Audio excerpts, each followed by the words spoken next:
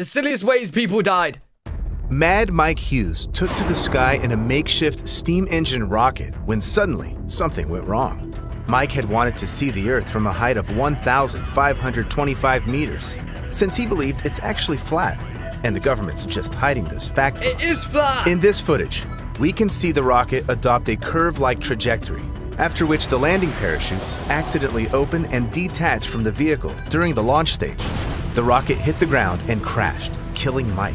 Yo, yo, yo, chat. Any flat earthers? uh, Any fellow flat earthers in the stream? No. Any? Bro, Earth is definitely flat, bro. Hundred percent. Hundred percent, bro. Have any of you guys ever seen a curve? I've not. He'd assembled the rocket himself, apparently making serious engineering mistakes. In this video, I've gathered stories about the most extreme incidents with fatal consequences. Some of them seem oh, incredible, but all have been taken from reliable sources. I warn you though, as always, viewer discretion is advised. August 2012, Montana, United States. On Highway 93 near Kalispell, a car hit some strange creature that unexpectedly appeared on the road. Mate, well that that that's a Bigfoot, bro. You, you, you're the first person ever to kill a Bigfoot. Almost instantly, another vehicle crashed into it. The driver of the first car was a 15 year old girl, and the second car was driven by a 17 year old girl. When they rushed to help the creature, it turned out to be a man wearing a ghillie suit, a fancy camouflage costume. Why? It's usually used by military hunters Why? or paintball players. The Why? suit makes a person invisible since, from the outside, it looks like an ordinary pile of leaves. Why? The man's name was Randy Lee Tenley. He was 44 years old. As it turned out, Randy wanted to impersonate a mythical creature, Bigfoot. That's why he put on the costume and wandered along the highway until someone would call 911 and inform them of a Bigfoot on the loose. The authorities believed the man was most likely drunk, instead of making himself as conspicuous as possible. Yo, that is seriously dumb. You are camouflaged. Walking along the highway. Like, re- really, bro? Really? Randy was virtually invisible. That's why a Montana State Patrol police officer, Jim Schneider, ruled the two drivers to be innocent, since it was hardly possible to notice a person wearing such a costume Yeah, right away. no shit. Sadly, Randy sustained injuries that were incompatible with life. Never walk on the highway if you're not wearing highly conspicuous clothing and even reflective elements during the night. The next story is yet another reminder that a desire to do something unusual can sometimes result in tragic consequences. April 2014. In St. Petersburg, Russia, a 17 year old schoolgirl named Ksenia Ignatyeva was standing on a railway bridge and contemplating the tracks converging in the distance. The girl decided to take a selfie against this background. She raised her phone and started moving it around in an attempt to catch a nice frame that fit both her and the railway tracks. It was difficult since Xenia wasn't tall enough. So she stood up on her toes, but suddenly lost balance and started falling right over the bridge railing. Panicking and trying to survive, the girl clutched onto some wire and was immediately hit with 1,500 volts. She fell onto the railway tracks and didn't show any signs of life.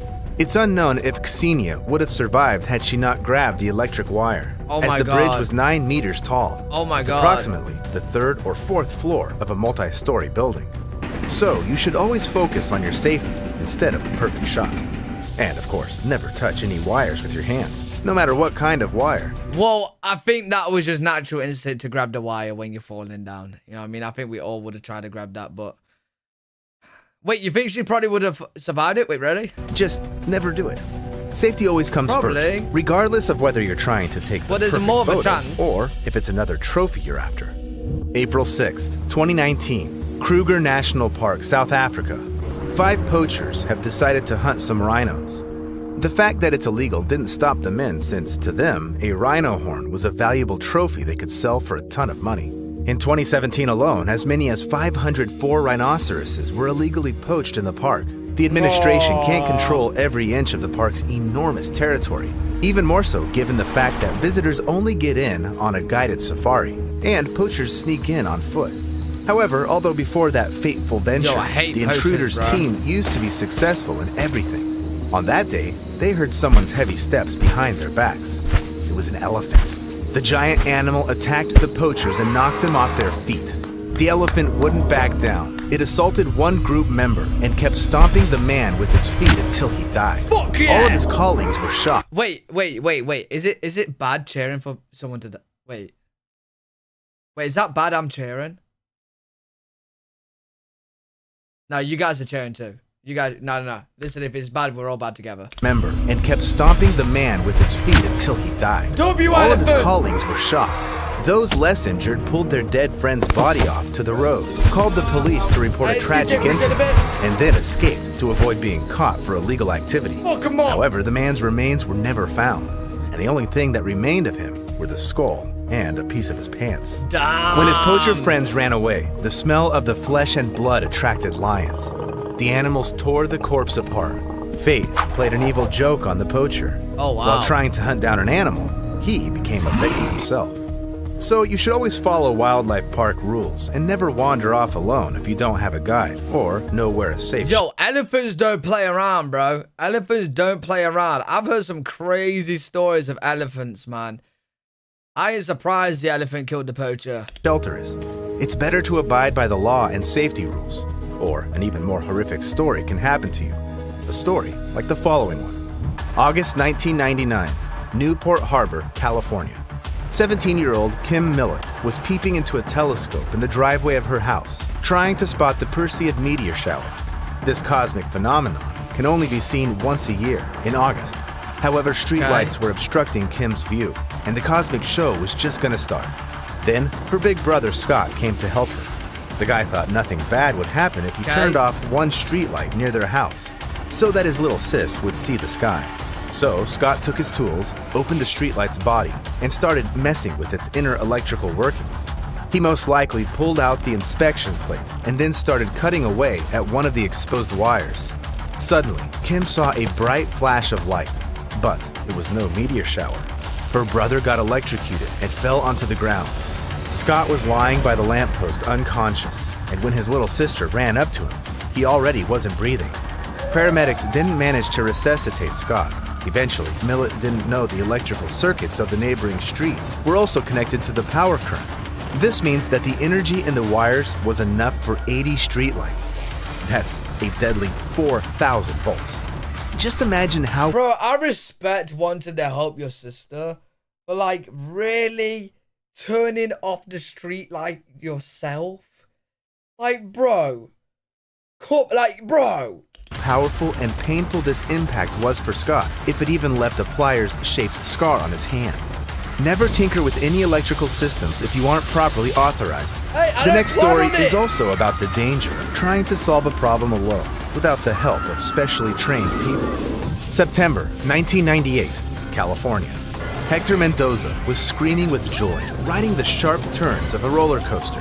He was at Great America Amusement Park on a coaster named Top Gun.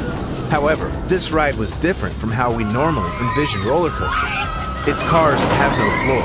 Passengers get into large, separate seats and are held in place with safety belts, just like in a regular car. This enables visitors to swing their legs during movement. The ride happens at 80 kilometers per hour Never and lasts for 2 minutes and 26 seconds. After Mendoza got off the roller coaster, he noticed that while he was there, the wind had blown off his cap and it was now lying somewhere on the tracks. He started explaining to the operators No that way. he needed to go back and get it. The employees didn't understand Hector, as he only spoke Spanish. The operators tried to explain to the man that the only designated area where the visitors could approach the ride was at the entrance. Irritated, Mendoza brushed them off and walked away. But the story didn't end there. He's gonna go and get it himself. He's gonna go and get it. Oh no, he's gonna go and get. You know what? Normally, when we hear this story, we don't hear that they gotta go, like they go and ask. That guy had a problem. They didn't understand him, so he did ask for them to, you know, get it himself. Oh no, this is gonna be bad. Later, Hector stealthily entered a door with a sign that read "Employees Only" and made his way toward the roller coaster tracks. The hat's not This door it. is typically only entered by specialists who check the it? ride when it's turned off, and there are no visitors. Crouching, Hector avoided the tracks and made for his cap. Meanwhile, the ride operators had already secured the next group of park guests on the coaster. Uh-oh. One of them was Jessica Medina. The Uh-oh. ride began. Suddenly, the woman started screaming, but it wasn't adrenaline she Here was screaming from. It was pain. She'd been swinging her legs so violently that she got a right leg bone fracture. The operators rushed to see what came in the way of the roller coaster's was his cars. It and was were his simply head. shocked to find was dead his head. Hector. When the man was standing right near the tracks, Jessica inadvertently hit him on the head at a great speed. He died on the spot. Never enter restricted areas in amusement parks and always follow the operator's instructions, who are responsible for your safety. Sometimes the desire to retrieve something we've lost can cause devastating results, just like in the next creepy story. August 2010, Bakersfield, California. An aquarium fish caretaker entered the Moody family home. Right away, the girl felt a Bro, strange. that seems to happen more than you think, man. Like, why do people actually go? Like, why would you go there? Like, you're literally going under roller coasters, bro. Like, why? pungent odor. She started looking for its source and got to the fireplace. When she took a peek inside, the girl nearly fainted. A woman was stuck in the chimney. The lady What? turned out to be Jacqueline Kodarak. William Moody was having a secret affair with Jacqueline. The relationship was far from simple, too. You're having an affair, mate, and she's fucking trying to leave the house through the chimney. Through the chimney. Although the lovers were hiding their passionate love, some locals still knew about them and told the investigation later that the two were constantly splitting and getting back together. On the day of the incident, the pair had likely fought again, and William didn't want to talk to Jacqueline. Oh, Some witnesses report having seen the woman at a bar drinking alone and being down in the dumps, after which she got up and walked somewhere hastily. As it turned out, Jacqueline wanted to discuss everything with William, so she went to his house, knowing he was there alone. Okay. However, her lover wouldn't let the woman in.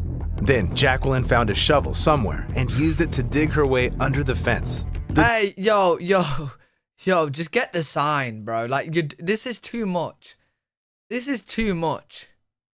Like, get the hint. Like, yeah. Bro, what is she gonna like purposely get stuck and then say to the guy, "Oh no, I'm stuck. Help me, I'm stuck." somewhere Like, bro, used it get to the dig hint, her way go, under the fence. leave. The door of the house was still locked. However, the woman persevered and climbed a ladder to the roof, Oh my took off the chimney cap, and started Oh. making her way down, legs first. Bro, how desperate are you? How desperate do you need to be, chat? How desperate do you need to be? Meanwhile, William had already escaped to avoid confrontation with his mistress. Regarding Jacqueline, she got stuck 60 centimeters from the fireplace's main opening. The poor woman could neither inhale nor exhale. Oh it's unclear God. if she'd been calling for her beloved to help her and how Oh quickly my she died of asphyxia, since Jacqueline's body wasn't found by the pet fish caretaker until three days after she'd crawled into the chimney. Don't attempt breaking into other people's houses, as it can have deadly consequences. There are even more horrific stories of inattention turning out to be fatal. July 13, That's crazy, man. 1997, Virginia. 22 year old Eric Barcia was working at a fast food place and was an extreme enthusiast. The guy wanted to do bungee jumping. For some Nope. reason, though, Eric decided to organize everything alone. Nope. It's unknown whether no such activity was available in his area, or the man just wanted to prove he can construct something by himself. It's not worth it. I only know that Eric tied together some bungee cords, which turned out a bit shorter than 21 meters. That was the height of the railroad trestle in Lake Accotink Park. Eric knew his fall would have to stop at a short distance from the ground, after which the rope would bounce. He tied one end of the bungee cord around his legs, attached the other to the bridge railing, and jumped. Yet the cords didn't stop him above the ground. If Eric hadn't been a novice, he would have known how to correctly calculate it. The gap he'd left was too small, and when the ropes stretched, Eric hit the cobblestone pavement. The guy died on the spot. Never attempt to recreate extreme activities by yourself. Leave that to professionals who, unlike you, That's are aware crazy. of all the nuances and abide by the universal safety standards.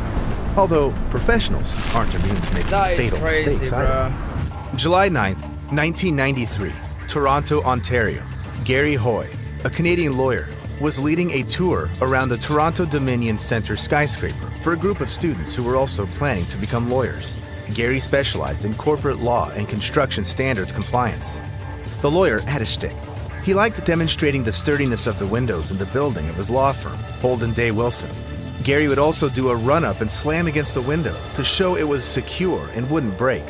He'd done this stunt many times before and always remained unscathed. This time, he ran to the window again in front.